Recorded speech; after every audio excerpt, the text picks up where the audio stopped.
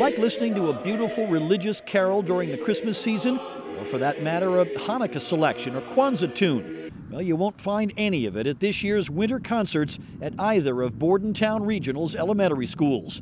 Joe Sergio, that's first grader Joey in the back seat, says he speaks for lots of parents when he says, We're not happy about it. You know, we're, we're all celebrating holidays together. You know, whether you celebrate Kwanzaa or Hanukkah or Christmas, it's our holiday, and you know, it's, it's, it's been around forever. It's our tradition. A message on the district homepage from Superintendent Constance Bauer tells parents that questions about some musical selections at elementary winter concerts led to a legal review and a decision that, quote, religious music should not be part of the elementary programs.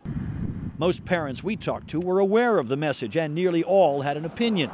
Some supported the religious music ban. Just to be on the safe side, and could be offending, you know, offensive to other uh, parents, families, because there's just so many different religions out there. Others told us they were fine with even more religious selections, given the time of year. I think the holidays in America is, is a melting pot. I mean, Kwanzaa, Hanukkah, Christmas, let them sing it all. We're a Hindu family, and my kids will sing, you know, Merry Christmas, and it's it's a fun holiday for them. I guess if one person gets offended, that's what happens. They want to do away with everything until it chips away and you can't do anything anymore. One parent told us the folks who had questioned the selections had been outed and were the subject of nasty comments from other moms and dads. It's a witch hunt. It's a backlash that I've never seen.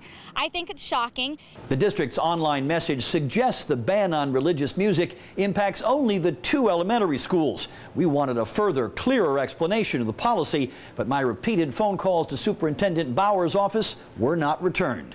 In the newsroom, I'm Bruce Gordon, Fox 29 News.